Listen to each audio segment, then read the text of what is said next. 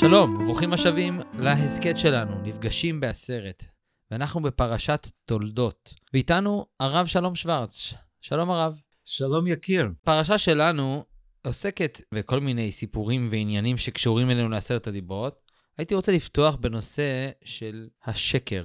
הרבה פעמים כששואלים אנשים מה עם עשרת הדיברות, הם ישלפו את הנושא של אסור לשקר. ובאמת בפרשה שלנו, הנושא של השקר מופיע או מתחבא שוב ושוב ושוב. כבר בפסוק הראשון צריך להדגיש שיצחק הוא הבן של אברהם, כי כל מיני אנשים התחילו להגיד שמועות שאולי מאבימלך נתעברה שרה, אז כנגד השקר הזה, אז יצחק דומה לאברהם. ומיד אחר כך, יעקב, שכתוב שהוא תיתן אמת ליעקב, הוא איש האמת, הוא עובד על עשיו, בהמשך הפרשה הוא גם מתחפש לעשיו ולוקח לו את הבכורה. יש לנו את עשיו שמרמה את האבא שלו ואימא שלו לחשוב שהוא צדיק. זה לא כתוב במפורש, זה במדרשים, אבל ששואל אותם איך מפרישים מעשר על מלח. אבל כשאני פותח את הדיברות, הרב שלום, אני לא מוצא לא תשקר, כמו לא תחמוד. אין איסור כזה. כולם יודעים שכתוב שם, לא? כן, אבל לא, כתוב לא תענה ורעך עד שקר. הדגש המרכזי ההתחלתי כשמסתכלים על הדיברות הוא בית המשפט ועדות על מישהו, לספר משהו רע, לגרום נזק למישהו דרך בית המשפט, כמובן זה הכי גרוע. ובהרחבה שאנחנו הרבה פעמים מדברים עליו, לשון הרע ורכילות, זה כל מיני דברים שאני משקר או מציג חלק קטן מהסיפור למישהו וככה אני מכפיש אותו, אני בעצם מעיד על עדות שקר, גם אם זה לא בבית המשפט. אבל אין איסור לשקר לכאורה בעשרת הדיברות, ואולי בכלל בתורה כולה יש מדבר שקר. תרחק, להתרחק מהשקר, לא לא לשקר. אני אפילו אגיד יותר מזה, לפעמים מצווה לשקר, ולפעמים מותר לשקר. יש כל מיני דינים בנושא הזה. הרבה מכירים אולי שאהרון הכהן שהיה רודף שלום, הדרך המרכזית שמוזכרת בחז"ל זה היה בזה שהוא היה מספר לכל אחד מהצדדים שהצד השני רוצה לעשות איתו שלום למרות ש... זה לא היה מבוסס על לכאורה האמת הפשוטה. אף אחד לא אמר לו שהוא רוצה להתפייס. אבל על ידי זה היה גורם להם להתפייס. אז לפעמים מותר לשקר. אז מה באמת אה, היחס לדיבר שלא קיים? לא תשקר. כל הורה יודע שהוא מלמד את הילדים שלו לא לשקר. אני זוכר שפעם uh, אמרתי לילדים שלי, אני יכול לראות בעיניים שלכם אם אתם משקרים, תיזהרו. והילדים הסתכלו עליי, הסתכלו בעיניים שלי, אולי הוא משקר אלינו. זה היה קצת uh, רגש של אמת, כמו שאומרים. האם אני אומר להם אמת שאני יכול לראות את השקר שלהם, או אני משקר שאני אומר להם שאני יכול לגלות את השקר שלהם. זה כל כך מרכזי ביחסים שלנו עם הילדים ועם כל אחד ואחד. האם אנחנו יכולים להיות איש של אמת? אמת, חותמו של הקדוש ברוך הוא. זאת אומרת, אפילו שנגיע לכל הפרטים של ההלכות, ודאי אין איסור אבסולוטי של לא לשקר, לא כתוב. ביחד עם זה, הדגש פה על מדבר שקר תרחק, זה אומר לנו כמה חשוב להיות זהיר, חס וחלילה, אפילו לומר משהו שהוא לא אמת. לא רק בגלל שזה איסור בין אדם לחברו, אנחנו יודעים כמה זה משפיע על הבן אדם שלא אומר את האמת. הנזק של שקר זה לא רק על הסביבה ועל החברה, קודם כל זה עליי. אם אני לא שומר על האמת שאני מדבר, כמו שכתוב, מדבר שקר תרחק. לא להיות אפילו קרוב לשקר. אז אפילו שאנחנו רואים פה בפרשתנו וכל מיני דברים, צריכים לקחת בחשבון את הערך העליון של אמת. חותמו של הקדוש ברוך הוא אמת כתוב בחז"ל. ואנחנו עכשיו מבררים מתי זה לא הולך בכיוון של טוב. יש מצבים שצריכים לשנות את האמת, מה שנקרא שקרים לבנים, שיש מצבים שהם הכרחי. כדי להגן על בן אדם, כדי לעזור לו, כדי לשמור על השלום, כמו שסיפרת, בין אדם ואשתו. יש מצבים שבאמת צריכים לשמור על הכבוד ועל הצניעות וכל מיני דברים שהחז"ל והפוסקים מלמדים אותנו שמותר ואפילו עדיף לשנות מפני השלום. זה הרקע לפרשתנו. מה שמפריע לי, אני לא מבין מה קורה פה. יעקב אבינו שקוראים לו איש אמת, איש תם, ורואים פה כמה סיפורים שמאוד מפריע כדי להבין את זה. ואנחנו יודעים שגם הגלגל חוזר, גם הילדים שלו שיקרו אליו על העניין של יוסף. אז יש פה משהו מורכב שצריכים קודם כל להבין אותו, אפילו לפי הפשט. אני שמעתי איזשהו הסבר מאוד עמוק ויפה מהרב שמואל יניב, אה, שליטה. דבר ראשון, אחד מהמבחנים הכי הכי חשובים לבן אדם שיש לו מידה מובהקת, זה שהמידה לא שולטת עליו, אלא הוא שולט על המידה. כלומר, אם אתה בן אדם שהוא בעל חסד, ואתה פשוט נותן בלי סוף, המבחן שלך יהיה לא לתת לסוחר סמים, שבא לבקש כסף כאילו הוא תמים, ואני כל כך רוצה לתת ואני יודע פה אני לא יכול לתת, בסוף זה לטובתו. והדוגמה בתנ"ך היא אברהם כבעל חסד, הניסיון העשירי שלו הוא לא על הצד החסד שלו, אלא הצד היראה שלו. אתה ידעתי כי ירא אלוהים אתה. כשאתה צריך להתגבר על כל הרחמים והחמלה שיש לך בלי סוף על כל בני אדם, על, על סדום אפילו, ועל הבן שלך לא יהיה לך חמלה, כי אני ציוויתי משהו, אני יודע שלא זה מנהיג אותך, אתה מנהיג את זה. ובאותו אופן יעקב, שהוא איש האמת, נבחן ברגעים שבו הוא צריך להגיד לאמת סטופ, ולדעת מתי מותר וצריך להשתמש, לצורך העניין, בשקר או בתחפושת, זה מראה שלא האמת שולטת עליו, אלא הוא שולט בה. היותר עמוק מזה, ומה שהזכרנו אצל אהרון, זה לא רק היכולת להשתמש בשקר כדי uh, להביא לשלום, אלא לפעמים יש אמת יותר פנימית מהאמת הנגלית. באמת הנגלית, שני האנשים האלה שאהרון בא לעשות ביניהם שלום, לא מסתדרים אחד עם השני. הם כועסים אחד לשני בגלל שזה קרה או זה קרה. אבל באמת הפנימית, הם מחוברים אחד לשני, כל ישראל ערבים זה בזה, הם קשורים אחד לשני. האמת הפנימית הזאת, אהרון מתחבר. לפעמים אתה משתמש בשקר כדי להגיע לאמת הפנימית. אז אותו אופן אני יכול להגיד על יעקב, האמת הפנימית היא שהוא צריך להיות הממשיך. זה רבקה ידעה כי אמרו לה, בנבואה. אז כדי להגיע לאמת האמיתית הפנימית, לפעמים להשתמש בדרכים שנראים כשקר כדי להגיע לאמת הפנימית. זה כיוון אחד, והייתי אוסיף שיש לנו פה איזשהו דיון שלאורך כל אה, חייהם של יצחק ורבקה, אין ביניהם הרבה דיבור ישיר, ככה אומר הנציב מוולוז'ין. הם לא מדברים אחד עם השני. יכול להיות שפער הגילאים, יכול להיות שהמפגש הראשוני של רבקה עם יצחק, שהיא נופלת מעל הגמל בסוף שבוע שעבר בפרשה, גורמת לאיזושהי יראת רוממות כזאת של רבקה מבעלה יצחק. אבל היא לא מוותרת על תפקידה כאימא, וכיודעת מה האמת, במיוחד אם היא נביאה, והיא שמעה את הנבואה שיצחק לא שמע, והיא רצתה להראות ליצחק שכל הרמאויות של עשיו וכל איך שהוא מתנהג עם אביו, אבא שלו לא יכול להאמין שהבן שלו ירמה אותו. ולכן הוא מאמין לו, ואוהב אותו. רבקה צריכה להראות ליצחק, בעלי היקר, אתה פטי, בקלות עובדים עליך, ואני אראה לך.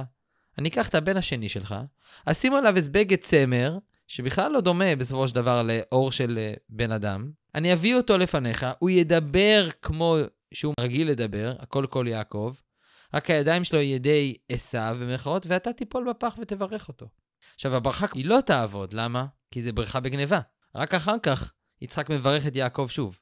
אבל היא, כל המעשה הזה בא כי רבקה, ככה היא מדברת עם יצחק, היא אומרת לו, יצחק, עובדים עליך. כל הדברים הטובים שאתה מדמיין, שעשו הוא זה שיכול לקחת את העולם החומר ולרומם אותו, יכול שזה יקרה בעתיד לבוא. ועלו מושים בארץ ציון לשפוט אותה עשו, אנחנו לא, אין לנו עניין להחריט את עשו. בסוף יעשה את התפקיד שלו בעולם, אבל כרגע זה לא יהיה. כרגע מי שהולך להנהיג ולבנות את בית ישראל זה יהיה יעקב, שיהיה לו ידי עשו, הוא ידע להשתמש בידיים של עשו. וכשיצחק מבין את מה שקרה לו בסוף, אז הוא אומר גם ברוך יהיה. רבקה צודקת פה, יעקב הוא הממשיך. זה יפה ו- ומאוד חשוב להבין את התהליך, מה שקורה בסיפור הזה. אני יודע שיש אנשים שתמיד אומרים, אני לא רואה רק מה שיש, אני רואה מה שאפשרי. וזה דגש מאוד מעניין, שבן אדם מסתכל על העולם ויכול לראות לא רק מה שיש, אלא מה שיהיה. אבל לפעמים שרואים מה שיהיה או מה שאפשרי, גם מתעלמים מהיש. אז יש שני סוגי אדם שהם קיצוניים בכיוונים האלה. אני מסתכל על האפשרי ואני תמיד עושה את שלי ורואה את הבן אדם מה שיכול להיות ואני נמצא במרחב הזה של מודעות של האפשרי. ובן אדם אומר וואה אתה חולם אבל אתה לא נמצא פה אני נמצא פה בעולם הזה ואני רואה מה שיש ואני מתעסק עם העולם במה שיש אני חושב שהתורה רוצה ממנו את שני ההסתכלויות האלה, לא להתעלם מאף אחד. אנחנו כיהודים מביאים את החלום של ימות המשיח, של עולם מתוקן, של קיום עשרת דיברות בכל העולם כולו. אבל לא רק זה, צריכים להתעסק ביש, במה שיש גם. הסיפור הזה, אני חושב שזה גם רבקה ראתה את המצב הנוכחי של עשיו, וידעה שזה לא יכול להיות שהברית תתקיים על ידו בזמן ההוא. יצחק ראה שיש גם רבי עקיבא שיבוא מעשיו, רבי מאיר שיבוא מעשיו, יש פוטנציאל פה לדברים טובים שיצא מעשיו הזה. אבל אנחנו קוראים את הסיפור הזה, ואני חושב שאחד מהמסרים שלי, שאני לוקח מזה, שתמיד צריך להיות מאוד מאוד נוכח גם בחלומות שלנו וגם במה שיש לנו, המציאות שנמצאת לפנינו. יפה, תודה רבה. אני, אני רוצה שנחזור לדיברות, כי ככל שאנחנו מעמיקים בכמה חשוב לא לשקר, אז נשאלת השאלה, אז תכתוב את זה ככה, לא תשקר. אם חותמו שהקדוש ברוך הוא אמת, אם אנחנו מבינים שאחד מערכי הליבה הכי חשובים הוא האמת, למה זה לא מופיע ככה? אנחנו יכולים לבנות איזו רשימת של ערכים בלשון שלנו, אבל סוף סוף קיבלנו את עשרת הדיברות כמו שהם. וזה שאנחנו יכולים לחשוב למה לא, ואהבת לך כמוך לא בתוך עשרת הדיברות, למה עוד דברים לא בתוך עשרת הדיברות. השאלות האלו הן חשובות לשאול, ונותן עומק של הבנה בתוך כל דיבר ודיבר. אבל סוף סוף אנחנו קיבלנו את מה שקיבלנו, ואנחנו מקיימים אותם ורואים שבתוך כל אלה נמצאת הכל. וזה מעניין, וזה מעניין לראות איך לא לשקר, אפשר לראות את זה בתוך כמה דיברות. כן, ככל שמתעסקים בפרטים ההלכתיים של שקר, אתה מגלה שזה לא רק עדות שקר, שזה מדבר על נזקים שאני גורם למישהו על ידי השקר שאני עושה, אלא יש גם עניין שלא לשקר כמידה. וזה קשור כבר לאנוכי השם. מהו אה, חותמו אמת? אז אני חותמי אמת. אז זה קשור לדיבר אנוכי השם לוקחה. גם הנושא של גנבת דעת, זה קשור ללא תגנוב. וכשאדם נשבע לשקר, השקר קשור לדיבר השלישי. הגמרא בסנהדרין כותבת, אמר רבי אלעזר, כל המחליף בדיבורו כאילו עובד עבודה זרה. אז אנחנו רואים ששקר גם קשור לדיבר השני. ייתכן שזה קשור לכל הדיברות, בסופו של דבר. וזה רק מגלה כמה האוצר הזה, צריך להעמיק פה כדי להבין. כמו שאמרת, קיבלנו מתנה מהקדוש ברוך הוא עשרת הדיברות, יש בהם הכל. יש לך קושיות? מצוין, תחקור. אבל בסוף תגלה שהכל נמצא שם. זה מה שמדהים פה בדיברות. המילים מוגבלות. עשרת הדיברות הם דברים מעל ומעבר ההשגה. הם הגיעו מהשמיים, מכתב אלוקים הוא, והדברים נכתבים בתוך מילים. אבל המילים לא הסוף. ואנחנו רואים את זה שרואים כל אחד מהדיברות בתוך הדיבר השני. כמו שאנחנו מונים את הספירות, אומרים חסד שבגבורה והגבורה שבחסד, אז יש אה, לא תישא בתוך אנוכי השם, יש אה, לא תחמוד בתוך לקטינוב, כל זה מתאר דרך מילים ודרך הדיברות לאן להגיע, אבל המטרה, המהות של הדיברות הרבה יותר גדול מכל הגדרה שנוכל לתת לו. וזה השאיפה. ולכן אני רואה בתוך השם, עוד פעם נחזור לשם, שם של יעקב, שהוא קיבל, הבעל טורים אומר שיעקב כולל אות י' כנגד עשרת הדיברות, ויעקב עין קב גמטריה הוא 172 כנגד המילים שבתוך עשרת הדיברות. יעקב הוא עכשיו הנושא את עשרת הדיברות שרבקה קיבלה דרך המתנה שדיברנו עליו בשבוע שעבר, דרך אליעזר, דרך מי אברהם, מביא את עשרת דיברות לרבקה, רבקה ליעקב, ויעקב אפילו בשמו נושא את עשרת הדיברות בתוך שמו כי הוא ממשיך את השליחות והשליחות הזאת לא רק בתוך המילים של עשרת הדיברות אלא בתוך עם ישראל יעקב הוא האבא של עם ישראל שעכשיו ממנו יבוא כל השבטים וכל עם ישראל אז הוא נושא את זה עם החיים שלו.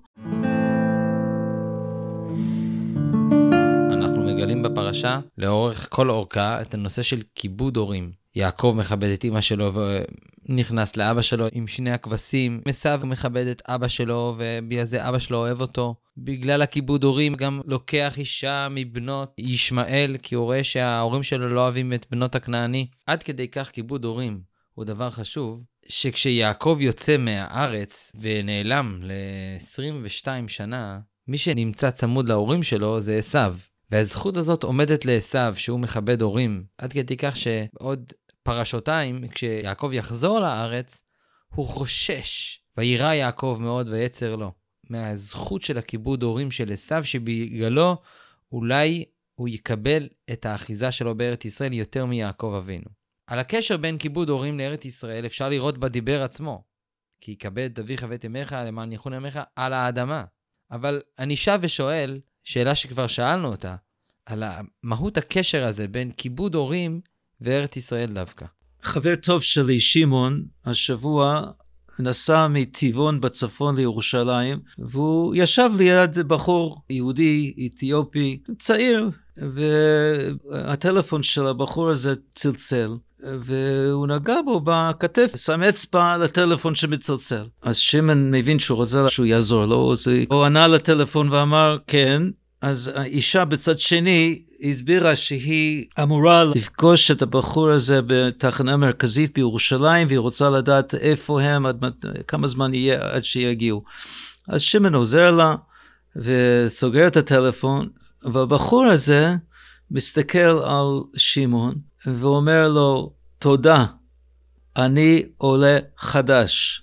זה כל כך אה, נגע לו בלב, והוא אה, סיפר לי את הסיפור הזה, ולא רק הנקודה הזאת שהוא לא יכול להגיד שום דבר יותר מזה שהוא אני עולה חדש, אבל המילים האלה מצלצלים לנו על כיבוד אב ואם ויישוב הארץ. איך הוא הגיע לארץ? מכיבוד אב ואם, מכל הדורות שבחרו כדי לחזור לארץ. אחד מהדברים המעטים שהתורה קורא לזה מורשה, זה ארץ ישראל. אנחנו קיבלנו את זה כירושה מאבותינו, והקשר הזה מאוד מאוד מסביר לנו מה אנחנו עושים פה. רק בארץ ישראל אפשר לקיים את חלומות של אבותינו, ורק דרך המסורה שכל משפחה ומשפחה מביאה לבנים ונכדים שלהם, אנחנו חזרנו לארץ. אבל לא רק זה, אנחנו בונים משפחות פה. כיבוד אב ואם הוא היסוד של בניית חברה מתוקנת. ודאי בחוץ לארץ הוא החוליה שהצילו אותנו כדי שאנחנו נחזור לארץ. אבל עכשיו זה אפילו הרבה יותר חשוב. כשהגעתי לארץ, אני, אחד מהדברים שהסתכלתי עליהם, אתה עולה לאוטובוס, עולה עוד פעם, עולה לאוטובוס, ואתה רואה את השלט מפני שיבה תקום. לא רואים את זה בחוץ לארץ. יש פה תרבות של כבוד לניצולי שואה, כבוד לזקנים, לא בכל מקום, אבל נשאר שריד, נשאר את ההרגשה הזאת, שאנחנו מכבדים מאיפה באנו. אם לא, איך אנחנו נמצאים פה? וכל עולה חדש מזכיר לנו מה אנחנו עושים פה. אנחנו בתוך קיבוץ גליות, ואנחנו צריכים להתעורר לנס שאנחנו בתוכו. ולבנות משפחות שקשורים לא רק לעבר שלנו, אבל גם ודאי לעתיד. זה היסוד של אריכות ימים, שנבנה חברה מתוקנת על ידי משפחות, על ידי כיבוד אב ואם. זה היסוד של יישוב הארץ, לבנות את זה באופן שאנחנו באמת מרגישים כמשפחה אחת בתוך מדינה אחת. אנחנו אומרים, עולים. אין מקום בעולם שקוראים למהגרים שלהם עולים. עולה חדש, הוא משתמש במילה שאומר אני בעלייה, אני מתפתח, אנחנו מגיעים עוד ועוד יותר קרוב לחברה מתוקנת, לעלות ביחד. ולכן הוא גם במרכז של עשרת הדיברות, דיברנו שכיבוד אב ואם הוא במרכז עשרת הדיברות. אבל בסוף המילים של הדיבר החמישי מופיע למען יאריכון ימיך על הרמה אשר השם אלוקיך נותן לך, וזה העברה גם לכל הדיברות של הלוח השמאלי, שהם היסוד של אה, חברה מתוקנת. זה מחבר את הלוח הימיני ולוח השמאלי דרך קיום עשרת הדיברות בארץ ישראל, שזה העיקר של תפקידנו ושליחותנו. לחבר את השמיים עם הארץ. תודה רבה לרב שלום שוורץ. תודה רבה ליקיר ותודה לכל המאזינים. ואני מקווה שבעזרת השם נעבוד ביחד לבנות את אה, מדינת ישראל וגם להזמין את כל עם ישראל הביתה, פה למדינת ישראל. כולם מוזמנים. שבת שלום. שבת שלום.